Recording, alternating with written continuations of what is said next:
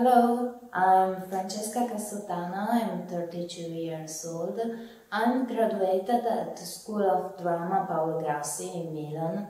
My best skill is dance or movement in general, like uh, dance theater. But for two different performances, I learned valser and uh, gabber dance. I'm also a yoga teacher.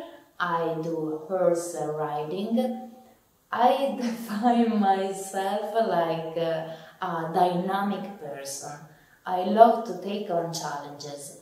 In fact, my motto is I'm working hard to prepare my next mistake. Bertolt Brecht. Those are my profiles.